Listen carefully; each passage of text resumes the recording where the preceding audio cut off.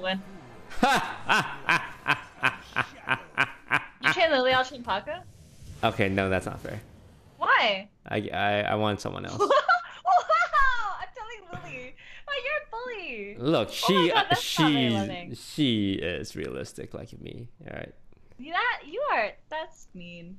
You're not a good person. I'm sorry I tell the truth. What a terrible thing to do.